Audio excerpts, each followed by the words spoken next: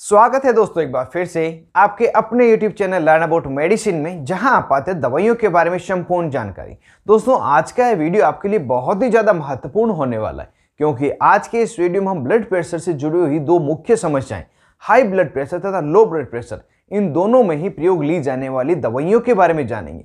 हम जानेंगे, यदि किसी व्यक्ति को ब्लड प्रेशर बढ़ जाए, उसका ब्लड प्रेशर हाई हो जाए तो डॉक्टर द्वारा उन्हें कौन कौन सी टेबलेट्स दी जाती है? साथ ही कोई व्यक्ति है जिसका ब्लड प्रेशर लो हो जाए तो उसे डॉक्टर द्वारा कौन कौन सी टेबलेट दी जाती? है किस ब्लड प्रेशर को हम हाई ब्लड प्रेशर कहेंगे? किस ब्लड प्रेशर को लो ब्लड प्रेशर कहेंगे?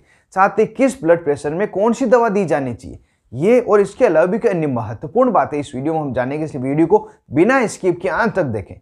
मैं हूँ आपका होस्ट मोहित आदिच आप देख रहे हैं अपना YouTube channel learn about medicine चलिए आज भी कुछ नया सीखते हैं।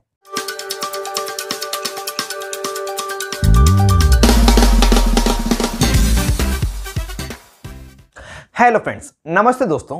यह आप सभी को पता है कि ब्लड प्रेशर की जो नॉर्मल रेंज है 120 ट्वेंटी अपॉन एटी होती है और इसमें 120 सिस्टोलिक प्रेशर रहता है और 80 डायस्टोलिक प्रेशर रहता है। यदि किसी व्यक्ति का ब्लड प्रेशर बढ़ जाता है मतलब 120 ट्वेंटी अपॉन एट्टी से ज़्यादा हो जाता है तो उसे हम हाई ब्लड प्रेशर कहते हैं और मेडिकल भाषा में इसे हाइपरटेंशन कहा जाता है। और यदि किसी व्यक्ति का ब्लड प्रेशर नॉर्मल जो 120 ट्वेंटी अपॉन है, इससे कम हो जाता है, इसे हम लो ब्लड प्रेशर कहते हैं मेडिकल भाषा में हम हाइपोटेंशन कहते हैं। अगर एग्ज़ाम्पल से समझे तो हाई ब्लड प्रेशर के जो पेशेंट है, उसमें जो ब्लड प्रेशर है आपको 140 फोर्टी अपॉन एटी मिलेगा 170 सेवेंटी अपॉन वन मिल सकता है 220 ट्वेंटी अपॉन वन हो सकता है, इस तरह से हाई ब्लड प्रेशर हो सकता है। और लो ब्लड प्रेशर का अगर एग्ज़ाम्पल समझे तो लो ब्लड प्रेशर में 110 अपॉन सेवेंटी हो सकता है।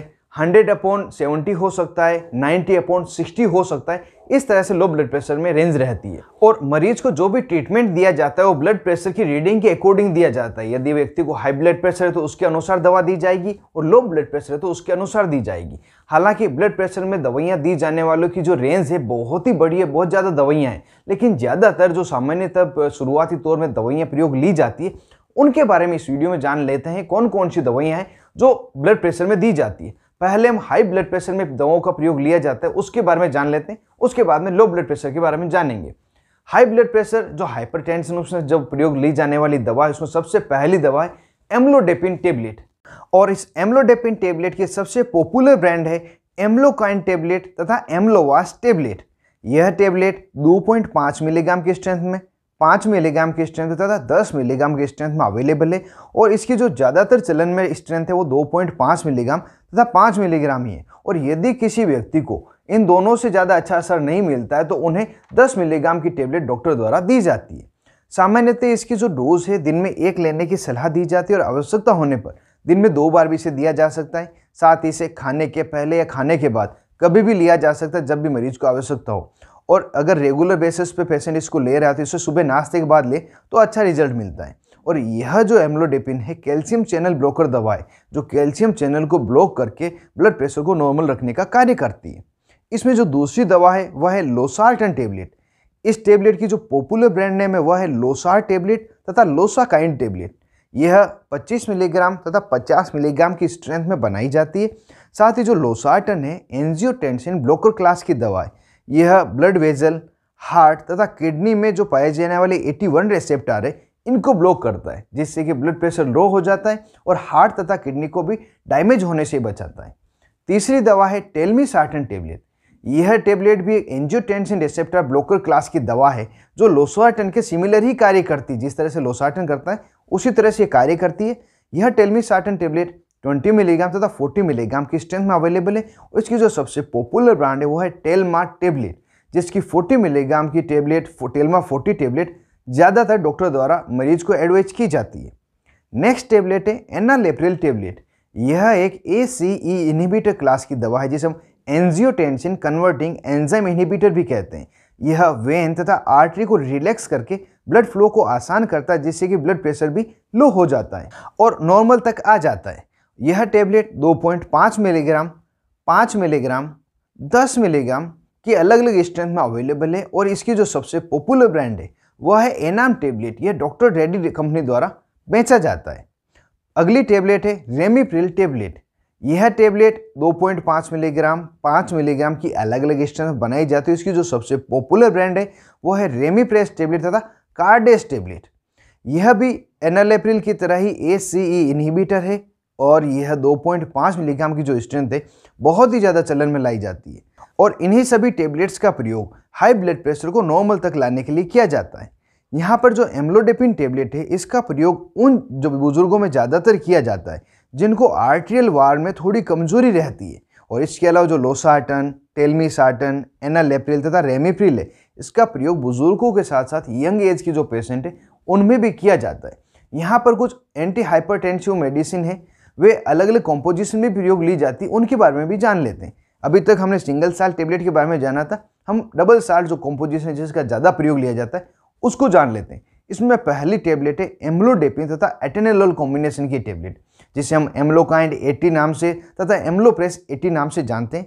यह कैल्शियम चैनल ब्रोकर तथा बीटा एडिनेटजिक ब्लोकर क्लास की दवाओं का कॉम्बिनेशन है और इसमें एम्लोडेपिन पाँच मिलीग्राम तथा एटेनेलोल पचास मिलीग्राम की स्ट्रेंथ में होता है। दूसरी दवा है लोसार्टन तथा हाइड्रोक्लोरथाइजेट कॉम्बिनेशन की टेबलेट। इसे हम लोसार एच टेबलेट के नाम से जानते हैं। यह एंजियोटेंसिन ब्लॉकर तथा थायजाइड डायूरेटिक क्लास की दवाओं का कॉम्बिनेशन है और इसमें लोसार्टन 50 मिलीग्राम की स्ट्रेंथ में तथा हाइड्रोक्लोरथाइजाइड 12.5 मिलीग्राम की स्ट्रेंथ में होता है। इसका प्रयोग उस समय लिया जाता है जब सिंगल एम्लोडिपिन टेबलेट या सिंगल लोसार्टन टेबलेट से बीपी कंट्रोल में नहीं आए, वैसे तो बीपी को नियंत्रित करने के लिए किन किन दवाओं का प्रयोग लिया जाना चाहिए, इसकी जानकारी के लिए आपको बारीकी से आर्टरीज वेन हार्ट उनमें जो रिसेप्टार है, उनकी एनाटोमी तथा फिजियोलॉजी इनकी जानकारी होना बहुत ही ज़्यादा आवश्यक है। लेकिन डॉक्टर द्वारा जो दवाइयाँ दी जाती, वो यही थी जिनके बारे में हमने जाना था। अब यहाँ पे सवाल आता है, यदि कोई व्यक्ति है जिसका ब्लड प्रेशर बहुत ही ज़्यादा बढ़ा हुआ है, वो डॉक्टर के पास आता है, उन्हें कौन सी दवा दी जाती है?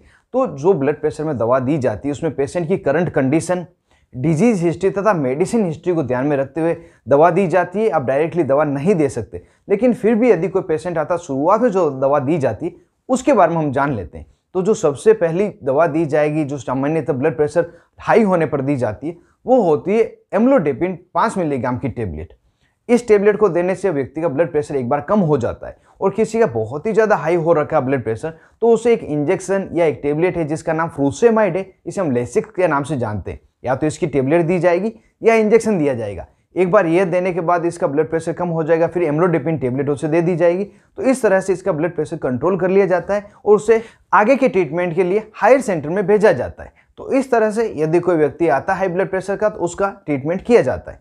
अब हम वीडियो में आगे जान लेते हैं, यदि किसी व्यक्ति का ब्लड प्रेशर लो हो जाए, जिसे हम हाइपोटेंशन कहते हैं तो किस तरह से उसका ट्रीटमेंट किया जाता है, वो भी डॉक्टर के द्वारा। जब भी व्यक्ति हॉस्पिटल में जाता है, जिसका ब्लड प्रेशर लो हो जाता है तो अगर उसका ब्लड प्रेशर नॉर्मल से कम हुआ है, ज़्यादा रीडिंग कम नहीं हुई है तो डॉक्टर द्वारा उसे O R S oral rehydration salt जिसे हम इलेक्ट्रोल पाउडर के नाम से भी जानते हैं, यह पीने के लिए दिया जाता है, साथ ही मल्टीविटामिन टेबलेट दी जाती जिससे कि उसका ब्लड प्रेशर नॉर्मल हो जाता है। लेकिन यदि किसी व्यक्ति का ब्लड प्रेशर थोड़ा और कम हो गया हो तो उसमें क्या करते हैं? तो उसमें जो नॉर्मल सलाइन की ग्लूकोज बॉटल जिसे हम ड्रिप कहते हैं इन्फ्यूज़न है, यह 500 सौ की उसे लगाई जाती है।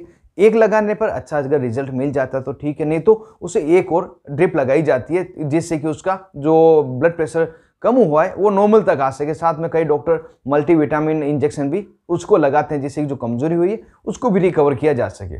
और एक स्थिति और होती है लो ब्लड प्रेशर में, जब व्यक्ति इमरजेंसी कंडीशन हो जाए मतलब उसको सही समय पर अगर ट्रीट नहीं किया जाए तो व्यक्ति की जान भी जा सकती है।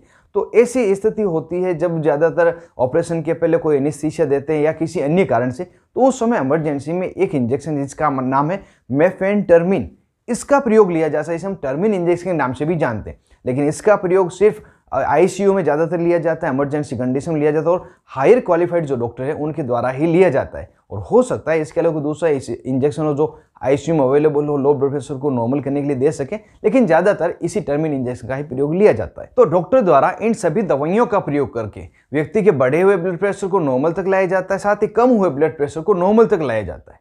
उम्मीद करता हूँ यह जो वीडियो मैंने बनाए हैं, आपके लिए बहुत जानकारी प्रदक होगा, और आपको वीडियो ज़रूर से पसंद आया होगा। यदि वीडियो आपको पसंद आया तो वीडियो को ज़ोर से लाइक करें, ज़्यादा से ज़्यादा इसको शेयर करें, जो किसी और के भी काम आ सके। और अभी तक आपने अपने यूट्यूब चैनल लर्न मेडिसिन को सब्सक्राइब नहीं किया हो तो नीचे ये बटन को दबाकर ज़ोर से सब्सक्राइब कर दें, जो पास में बेल आइकन है, इसे ज़रूर दबाएँ, जिससे कि आने वाले वीडियो के सभी नोटिफिकेशन आपको मिल सकें और मेरे सभी वीडियो आप मुफ़्त में देख सकें। आप तो अपने दोस्त मोहित आदिश के साथ देख रहे अपने YouTube channel learn medicine thank you friends take care and we care for medicine users